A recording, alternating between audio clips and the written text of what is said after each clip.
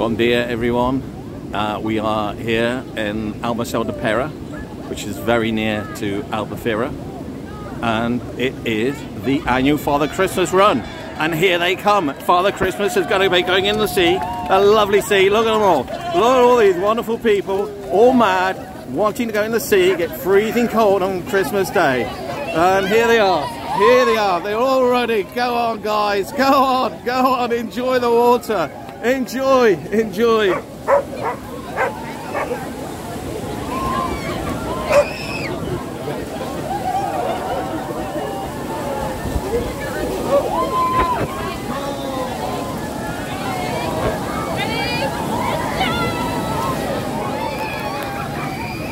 So everyone, enjoy your Christmas. I just got my feet wet. Have a great time. From all here in Portugal, we all wishing you a great time back home. A happy Christmas and Happy New Year.